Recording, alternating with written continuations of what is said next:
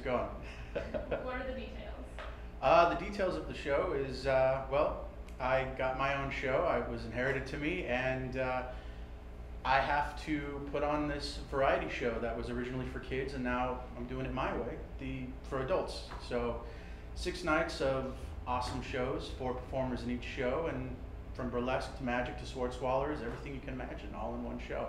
Plus, there's ice cream at the end and I think that's the most important part of the show. The most important aspect is the ice cream. Great. What are you most excited about? I'm excited to work with all my friends just to put on this fantastic show and uh, just have imagination, fun, interaction all in one show with everybody you can possibly imagine and just be yeah, super awesome. It's going to be great with ice cream. That's always going to be the, the important factor of the show. Plus, I got my awesome assistant, uh, Princess Bebop Alua. She, uh, she's going to hopefully behave herself. She's been known to be crazy and dance and break stuff and tell really, really bad jokes. But you know, who doesn't love a bad joke? So, Awesome. What's your favorite line? my favorite line of the whole show, uh, "Holy spumoni." That's just me saying "Holy shit."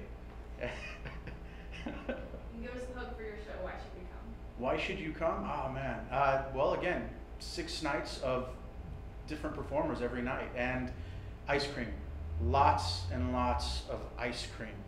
I cannot stress enough how much ice cream there's going to be after the show, not during the show, but afterwards. Oh, it's going to be delicious.